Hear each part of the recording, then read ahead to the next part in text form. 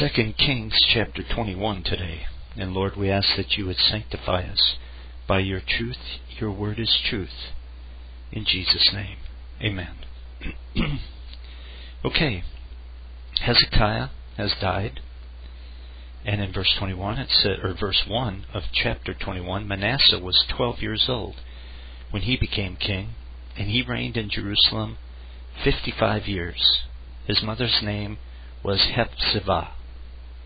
And this man, Hezekiah's son, who was born three years after Hezekiah's illness, will be one of the worst rulers, the worst ruler that Judah ever had. He did evil in the eyes of the Lord, following the detestable practices of the nations the Lord had driven out before the Israelites. And no excuses for Manasseh at all. There's never any excuse.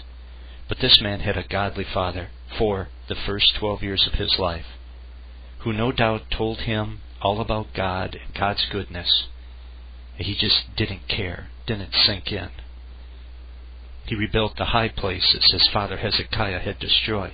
He also erected altars to Baal and made an Asherah pole, as Ahab king of Israel had done. He bowed down to all the starry host and worshipped them.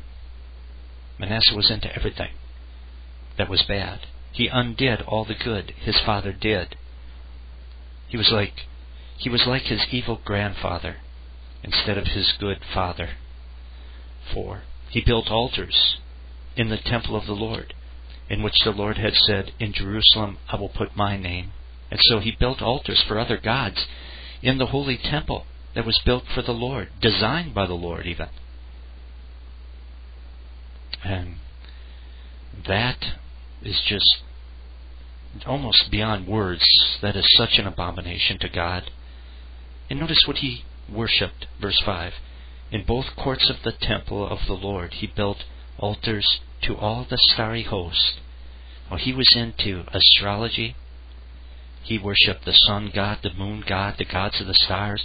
They were all being worshipped in God's house. You know, that's like someone moving into your house and doing things that you hate, knowing that you hate it, and thinking, well, that's just fine. I'm going to do it anyway. I wonder how long they would be in your home before you threw them out into the snowbank. 6.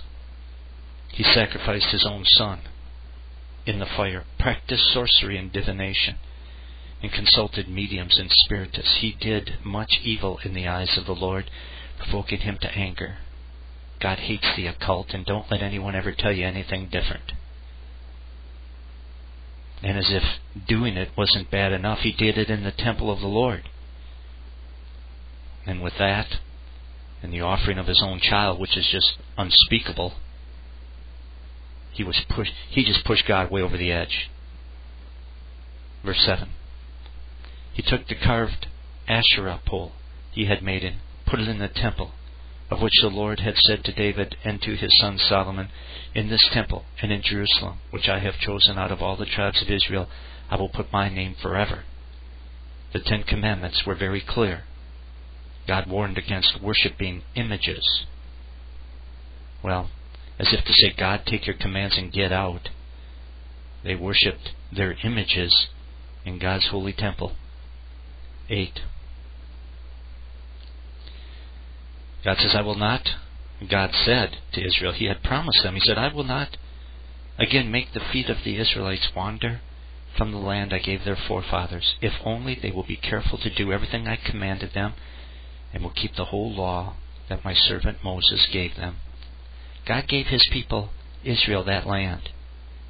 And his plan was that they would live there forever and be happy. And all they had to do was obey him. And he would make it all work out. But they blew it of their own free will. But the people did not listen. Verse 9 says, Manasseh led them astray, so that they did more evil than the nations the Lord had destroyed before the Israelites. Manasseh was evil, and he influenced the people the wrong way, but they are accountable for their own sins because they didn't have to follow him. 10. The Lord said through his servants the prophets, Manasseh, king of Judah, has committed these detestable sins. He has done more evil than the Amorites who preceded him and has led Judah into sin with his idols. See, it's not as if Manasseh and the people were ignorant. They had plenty of knowledge. They just did not care. 12.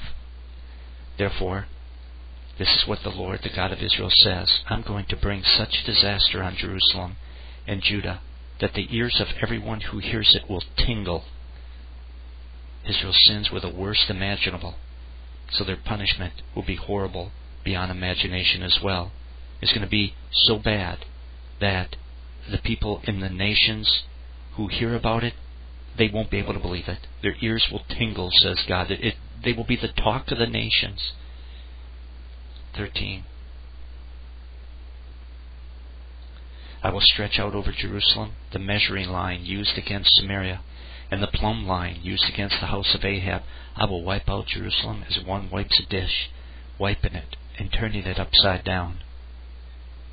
And so, like you wash all the crud off your dishes and set them in the rack to dry, God says He's going to wipe the sinful human crud off of His holy land.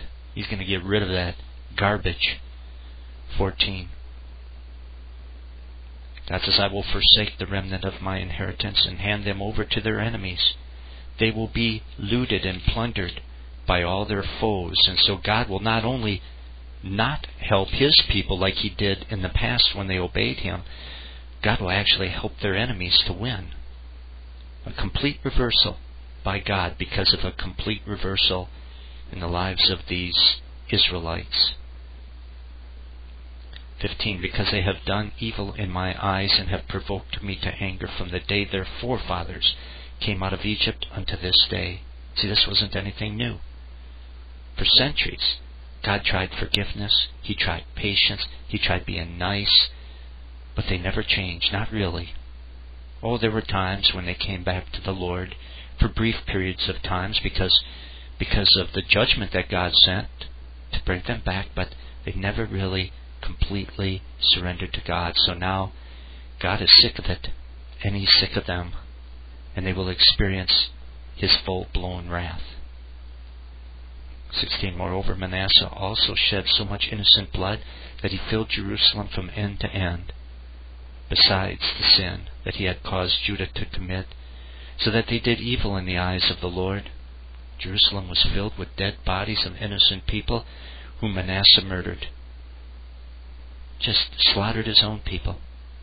That, on top of his idolatry, is all the reason God needs to punish him. 17.